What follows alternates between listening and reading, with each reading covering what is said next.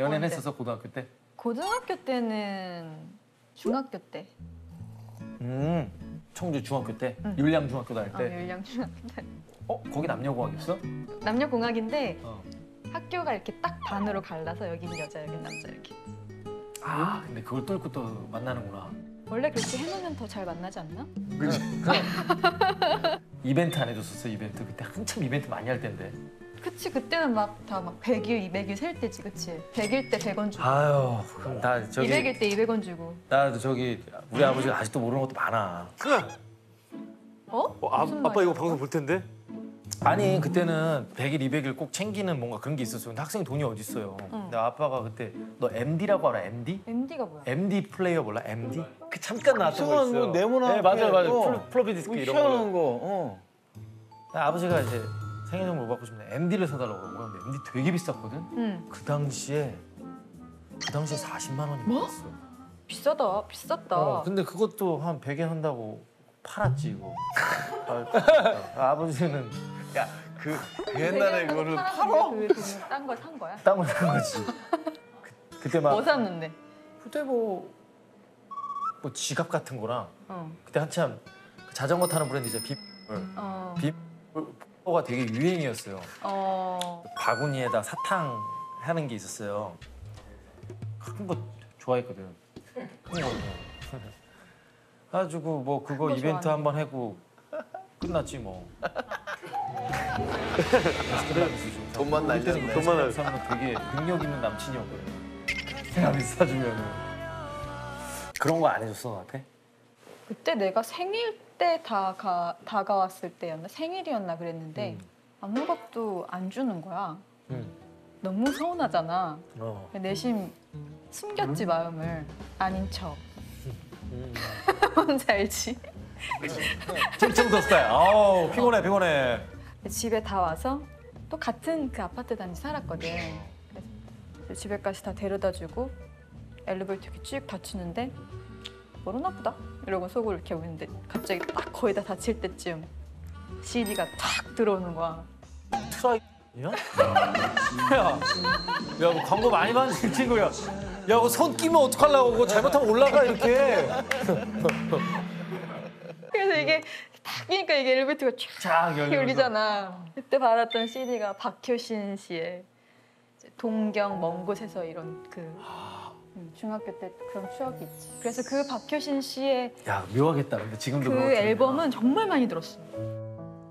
뭘 그렇게 좋아했을까?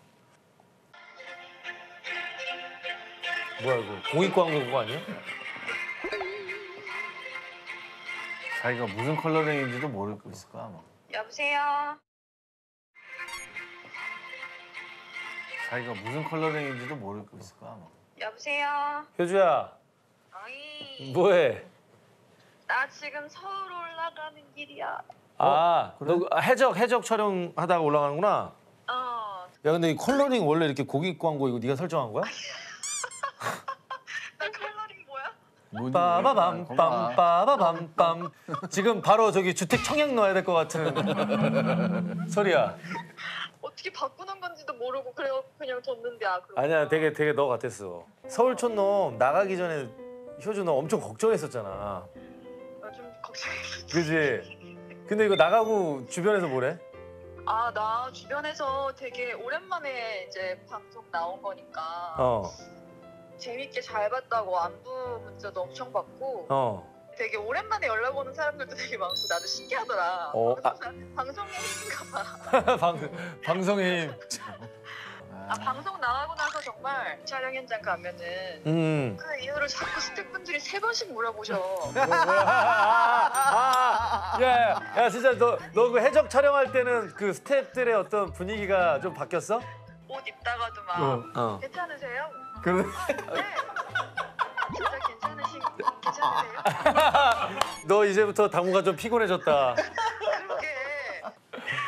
어, 아. 아니 이거 방송 다시 보는데 너가 서울에서 볼 때와 가장 다른 건 의외로 승부욕이 되게 세네. 음. 아, 그게 서울에서랑 다른 점이야? 아, 너 왜냐면 나 서울에서 너 만날 때는 너가 막 작품을 하거나 할 때 막 너가 엄청 욕심 부려서 하는 스타일이 아니잖아. 아니야 나 욕심 부려서 하는 스타일인데. 아 그래? 아 그래? 어, 내가 다른 여자 배우랑 착각했나 내가 이거. 무슨 소리 하는 거야? 어 그래? 아니 진짜 다시 보니까 좀 청주를 다시 한번 가고 싶더라고. 어 나도 그래서 그때 느꼈던 그 감정들이 정말 특별하더라고. 음. 그래서 어 마음이 뭉클해지는 것도 있고 그 어렸을 때 내 아주 소중한 추억이 담긴 장소들을 언제든지 꺼내볼 수 있는 한 편의 앨범처럼 방송이 만들어진 것 같아서 아. 그렇게 너무너무 감사하고 아. 승기 너한테 너무 고맙고 알겠어. 하여튼 촬영 잘하고 언제까지 촬영해? 밥은 먹었어? 어? 밥은 먹었어? 어? 아 또 시작이야? 너 이렇게 내 흐름 흐름 이상한 질문 하지 말라고 그랬지. 어? 야 촬영 언제까지 했는데 밥은 먹었어는 무슨 얘기야 그게? 또 시작이야? 같이 있다는 거야. 아 같이 어? 있는 거야? 범성이 지금 얘기했잖아. 우리 난 상태 함께 체크. 하고 있다는 거야. 어 거긴 그대로 유지해. 어. 그래 아니 저기 뭐냐 다음 주 토요일 날 4시쯤 뭐해? 어? 다음 주 토요일 4시? 어 우리 회식 좀 하려고 그러는데 그때. 그때 가서 다시 연락해 알겠어. 알겠어. 그래 알았어 하여튼. 어, 오케이. 안녕. 고마워. 안녕. 오빠도요 안녕. 빠이빠이. 감사합니다 어 촬영 잘해. 네 고마워 어.